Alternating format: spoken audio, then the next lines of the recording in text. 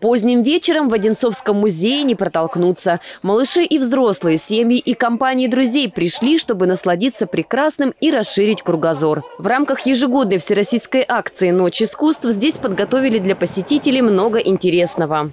Это уникальный случай посетить музей после закрытия, скажем так. Да? То есть 6, мы обычно закрываемся в 6, а в этот раз в 6 мы, наоборот, открываемся. И до 9 часов мы ждем в гости. А, можно посмотреть музей, просто прогуляться по залам. Можно поучаствовать в мастер-классах, можно порисовать, можно создать э, интересную закладку для книг. Как раз у нас такая в русском стиле закладка сегодня.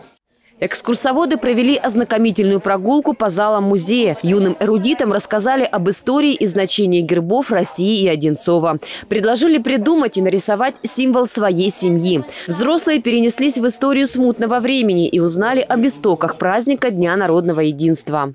На самом деле, действительно, очень такой драматичный период в нашей истории был.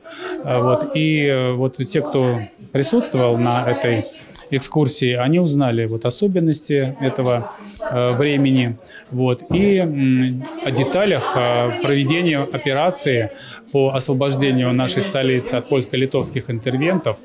На этом завершился период смутного времени. Первый представитель рода Романовых воцарился на престоле.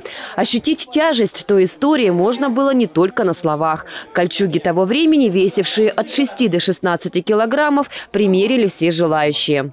Я примерила самую тяжелую и самую дорогостоящую кольчугу. Ее могли носить достаточно зажиточные воины, но при этом они должны быть еще и сильные. После музея ночью будет о чем подумать, признаются посетители. Ведь они получили не только яркие впечатления, но и новые знания. Хотя казалось, что и до этого им было известно уже немало. Очень э, рады этому событию, что в этот э, замечательный праздник 4 э, ноября Единственная возможность, да, посетить такое место, узнать о истории. Много очень фактов замечательных мы узнали и о гербе именно города Одинцова.